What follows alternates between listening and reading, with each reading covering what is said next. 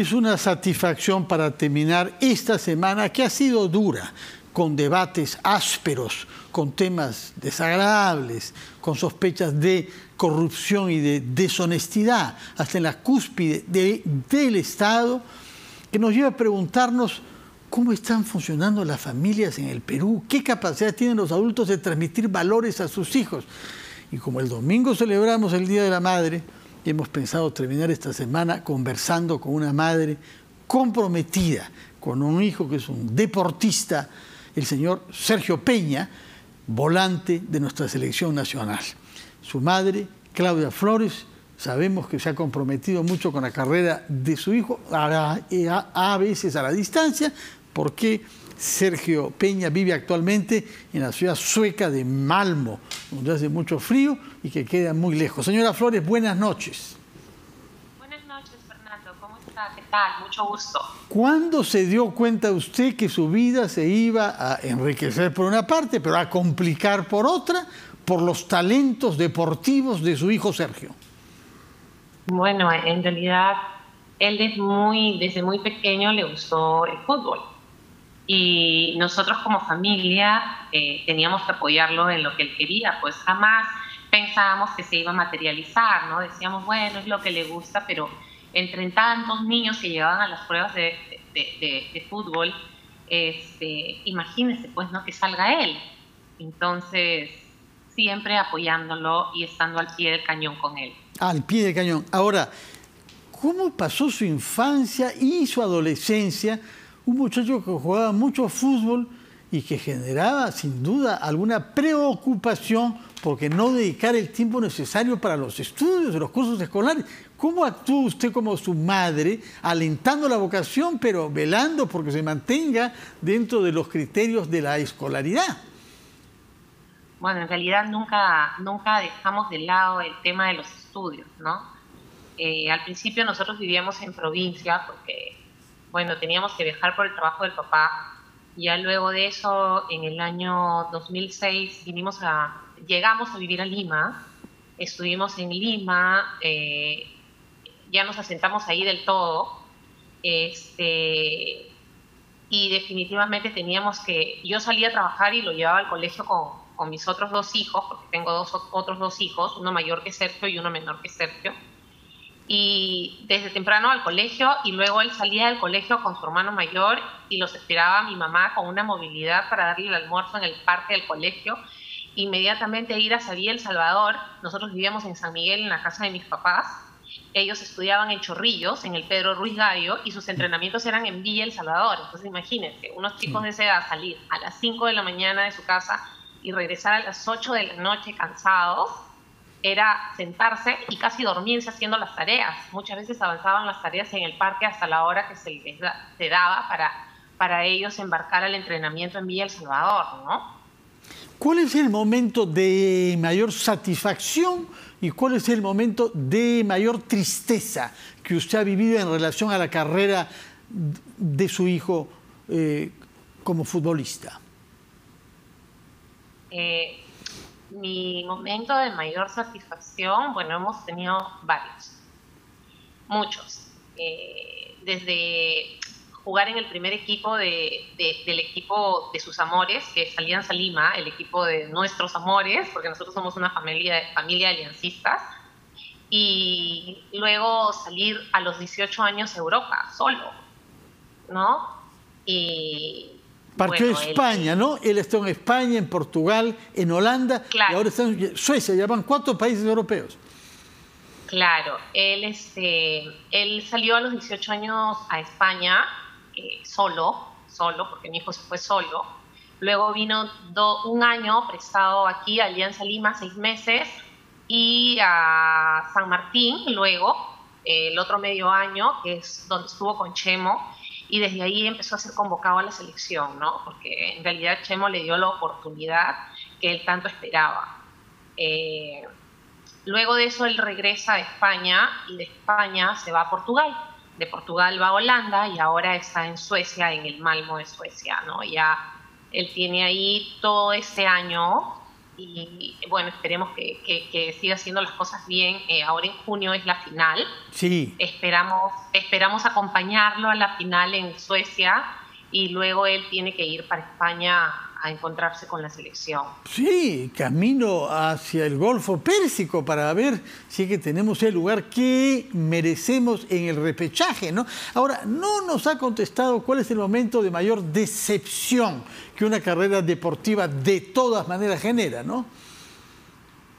En realidad decepción no, pero sí pena de, no haber logrado el sueño en ese momento y todavía hay tiempo para hacerlo, ¿no? Es en el momento en que él regresa, eh, lo regresan y no es parte del grupo que iba al Mundial, ¿no? Claro, porque Paolo Guerrero se reincorporó al grupo y su hijo tuvo que salir. Y creo que tienen un vínculo entre ellos, extradeportivo, ¿no? Sí, eh, Paolo y yo somos primos. Paolo es tío. O sea, Paolo es el tío de Sergio Peña y se produjo esta situación triste de que como el tío se reincorpora una vez superada su lesión, el sobrino tiene que salir del grupo. Así es. Es un sufrimiento, es. un sufrimiento. Eh, sí, eran sentimientos encontrados en realidad, porque nosotros felices de que, de que Paolo regresara con el grupo y tristes ah, hemos tenido un corte de la comunicación con la señora Claudia Flores, la madre del futbolista Sergio Peña. No, sé si podemos recuperar este sonido. En todo caso, nos está haciendo sentir como también una madre de un futbolista tiene que vivir pues, los momentos. Sí, señora Claudia Flores, nos escucha. Sí, sí, claro. Estamos bien. Ahora, usted tiene que eh, velar por la armonía general de su hijo, por su vida familiar y por sus nietos. Es una tarea difícil cuando el hijo vive tan lejos como Suecia. Así es, pero no es difícil, ¿no? No es difícil porque usted sabe que para el amor no hay fronteras, así que uno se las ingenia y de todas maneras ahora es mucho más fácil comunicar, ¿no? El día a día tenemos esos equipos electrónicos que son tan maravillosos ahora con el que podemos este, vernos, comunicarnos, entonces estar al pendiente todos, ¿no? Y hablando de amor, puesto que usted introduce el tema, toda esa armonía con su nueva nuera. ¿Perdón? Quiero saber si todo es armonía y que usted vela como abuela y como madre por la armonía y en la relación con su nueva nuera, con la nueva eh, compañera de su hijo. Bueno, yo en realidad de los temas eh, personales de mi hijo no hablo. Eh, yo estoy ahora en Estados Unidos por un tema personal y este, ¿qué le podría decir? A mí me invitaron ahora para hablar eh, por el Día de la Madre. Sí, sí, que de eso que exactamente, justamente quería terminar nuestra entrevista preguntándole cómo van a celebrar el domingo. ¿Cómo van a celebrar? Usted está en Estados Unidos, su hijo está en Suecia, sus otros hijos, me imagino que en el Perú, ¿ah? tendrán que hacer un chat internacional, ¿no? Eh, sí, ahora nos toca pasarla así. Así han habido veces navidades en que no hemos estado todos juntos, pero igual este, es una fecha que la celebramos con el corazón, ¿no? Sabemos del amor que nos tenemos y en realidad, eh, nada, esperar a que estemos juntos pronto, porque ya en unos días más nos reunimos todos. Acá en Lima, acá en Lima. ¿Se reúnen acá en, o en España? En España nos dijo. No, no, no, porque Sergio está en Suecia. ¿Ya? Sí, entonces ya, yo voy de aquí para mi hijo. Ah, yo pensé que se integraba a la selección peruana cuando acabara el campeonato sueco, que debe estar ya a punto de concluir, ¿no?